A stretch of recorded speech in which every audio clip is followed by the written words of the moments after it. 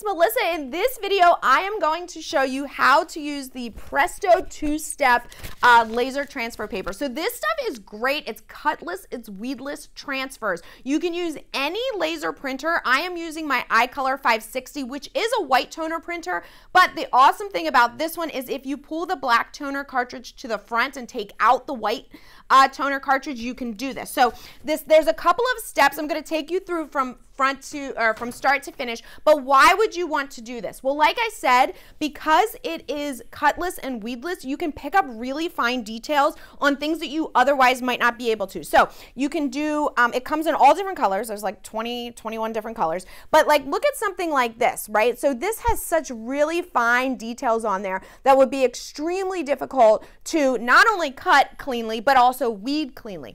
Okay, so if you're looking, it's monochrome, right? So it's it's a replacement essentially for uh, heat transfer vinyl. But then you've got other things like look at these little tags, right? So this is to this, I know you can't see this, but we're going to go through the whole process. Something like that where you are almost never going to be able to cut and weed, no matter what cutting machine you have, that small. Now you can just print the design, and apply the adhesive, and then make these um, transfers with this Presto, and it is awesome. So let's get started. Like I said, all of, um, I'm using my iColor 560, but any laser printer will do. I will put descriptions in the, uh, I will put links in the description below. So let's get started. Okay, so I like to design everything in Silhouette Studio, and the great thing about printing to the laser, even the 560, um, which the rip is on a PC, but I can print from my Mac when I'm not using um, the white toner option. So um, what I'm gonna do is use Silhouette Studio, and I first need to go up to File, whoops, sorry, this is off the um, page here, but I need to go File, Print Page Setup. That will pop up this box. And then I'm just going to set it to the printer that I'm using. So if you see Ricoh, um, or it might say iColor or Uninet, um, this is my different Uninet, but this is the Ricoh that I'm using. And then I'm gonna set it to the paper size, which I know is A4. So I'm just gonna change that and click OK.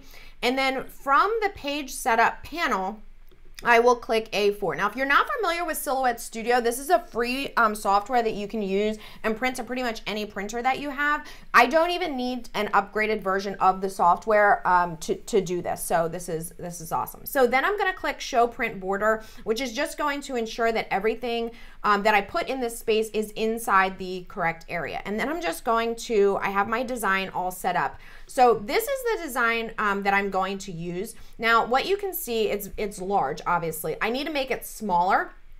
Um, so I'm just gonna size that down. All right, and the most important thing is that the entire design needs to be black. So my design is already black, but if you don't have your design black, let's say it's red for whatever reason, um, you can make it black. Whoops, I need to change that back. Okay, so now mine's black. The other thing that you need to do is you need to mirror the, uh, the design because it's gonna print in reverse. So I'm gonna right click and do flip horizontally. And then I'm actually just going to rotate this design 90 degrees because I think I can fit a little bit more. Now, what I am going to do is fill the entire page with this design. So I will just open the uh, fill option or the replicate panel here, and there's a option here for fill page. So it takes a second. It will put the same design all over the entire page. Now, a couple things you want to be careful of. You want to make sure that everything is contained within your print area, which you can see this is. All right, and I have I don't know how many are here. Let's see, one, five rows of one, two, so so 30 on a sheet here, which is great.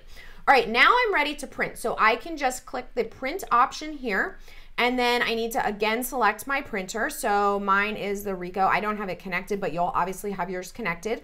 And then once you do that, don't print quite yet. You wanna go to uh, paper feed and I never let it auto select anything if I can prevent that. So I'm going to use the bypass tray and okay, just, okay, that's fine, that little error.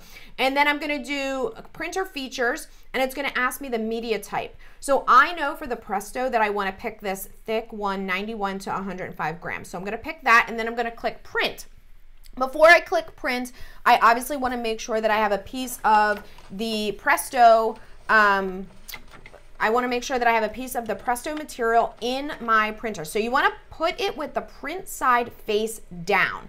Okay, make sure, if, and again, I'm using bypass here, and now as you can see, I can pr click print directly from Silhouette Studio, and this will print. Now, it's gonna take a second, but when it comes up on the top of the printer, once the paper is pulled through, it's gonna look like nothing happened. Don't worry, it prints on the underside, and it's going to print solid black. Even though we want a white transfer, the black is the is what is going to attract the adhesive. And so whatever we want printed, no matter what color, we are going to print in black.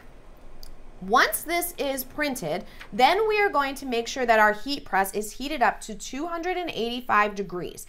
Okay, once it gets to temperature, you wanna close your press and for five minutes, let the hot top platen sit on the bottom platen. Five minutes. You want the bottom and the top platen to both be heated up.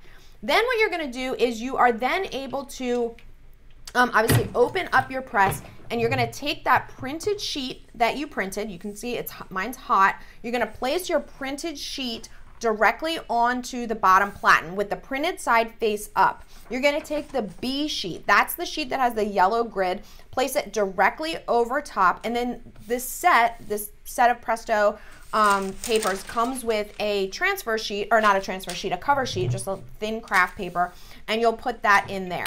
You're gonna close the press again, and now for 120 seconds, let this sit on there. So once it's done, then your transfers are done. So what you need to do is very, very carefully, and I would suggest from one of the corners, peel back. Before you do that, take some kind of cloth like a t-shirt or um, a pillowcase and just rub the transfer. You're just making sure, you're just taking a little heat out, you're making sure that it gets a nice, good, um, solid, uh, what we call marry. So then from one of the corners, peel back slowly. And what you're gonna see is that the black is now covered and you can see coming off that adhesive sheet, the adhesive has been removed only in the areas of the black toner. Now our transfers are complete. So what I can do at this point um, and I'll give you a closer up view here. But what I can do at this point is these white transfers can now be completely cut apart. You don't need to apply them right away. I will tell you, because I'm going to cut mine apart and I'm going to, you know, like I said, this is perfect if you've got, you know, small tags or things like that that, um, again, you just cut, cutless, weedless. So you saw I didn't need to cut or weed anything and my transfers are completely ready. Now I'm going to put this on um, a gray shirt and a black shirt. I'm going to put this on the tag. I find the easiest way to do tag collar tags like this is to flip the shirt inside out. You will probably want to put um, you will probably want to put some type of pressing pillow inside there just because of the color of the shirt can make it a little bit challenging and you want to obviously get a really good press on there. So if you need to, like I did, throw a pressing pillow in and then place the transfer directly on top. You can tape it down with high temperature tape if you want. Cover again. I've got to reduce the pressure here. It was a little bit too much pressure now with the pressing pillow. And then you're going to press for about 30 seconds um, still at 285. So these can go on cotton blends, they can go on polyester.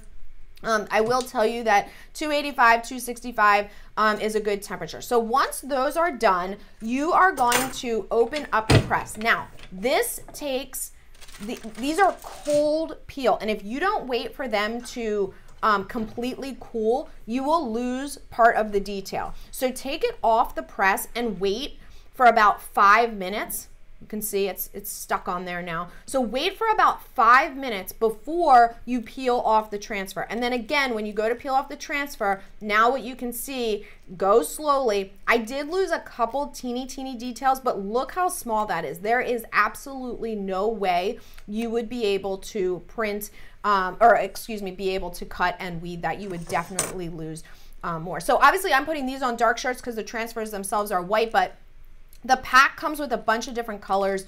Um, I just love this Presto stuff. I love that you can use it with any toner print or any laser printer. Again, my iColor 560 can do dozens of different processes on for garments, on paper, stickers, um, lots of different things. But um, if you're interested, all of the uh, links are in the description below. If you've got questions, feel free to leave comments. Um, if you're looking for the best bundles on the iColor 560 or this Presto paper, I've got I've got links for that too. See you guys.